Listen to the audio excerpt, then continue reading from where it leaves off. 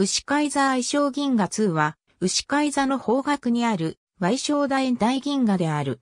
2007年にスローンデジタルスカイサーベイのデータから発見された。太陽からは約4万2000パーセク離れており、約秒速 120km の速度で向かってきている。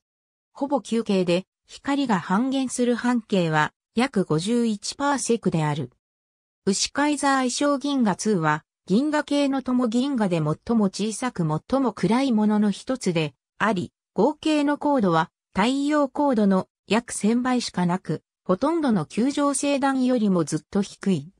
しかし、質量は大きく、質量高度比は100を超える。牛飼座愛称銀河2を構成する構成は、100億から120億歳の中程度に古い構成が多い。金属量は Fe、H、イコールマイナス1.8と低く、重本その量が少なくとも太陽の80分の1以下であることを示している。現在、牛飼座愛称銀河2の中で保守形成は見られない。また、これまで中性水素原子は検出されておらず、存在するとしても上限は86太陽質量である。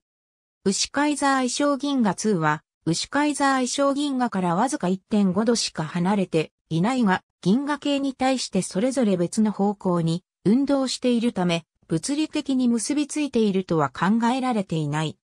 約秒速 200km という相対速度は高すぎ、いて、ザストリームやいて、ザワイ小楕円銀河との結びつきの方が可能性が大きいと考えられている。